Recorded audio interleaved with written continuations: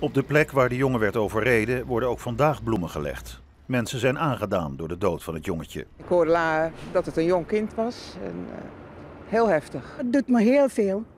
Want dan begin ik aan mijn kleinkinderen te denken, aan mijn uh, kennissen, vrienden, ook uh, gewone mensen in de buurt. Hè?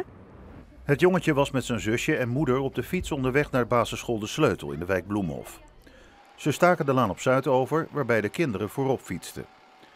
Ze passeerden een stilstaande vrachtwagen. Toen de chauffeur optrok, kwam het jongetje onder de wagen terecht. Helma Kemner is directeur van basisschool De Klipper. Een school pal naast de laan op Zuid. Het nieuws over het ongeluk hakt er flink in. Wij hebben wel direct in alle klassen gekeken of er een kind gemist werd. En uh, ja, wij wisten eigenlijk gelijk dat het niet van onze school was.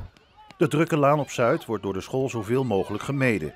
Ouders wordt bijvoorbeeld verzocht hun kinderen aan de andere kant van het gebouw op te halen. Wij uh, hebben met onze medezeggenschapsraad gaan wij dit uh, zeer binnenkort uh, bespreken. Ik denk dat ik de wijkagent uit ga nodigen op school om dit te bespreken. Wat wij zouden moeten of kunnen doen als school.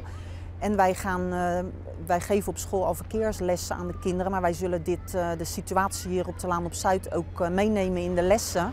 Aan het kruispunt waar het ongeluk gebeurde wordt nog hard gewerkt. Als het aan omwonenden ligt, worden er snel maatregelen genomen, nu de stoplichten nog niet werken.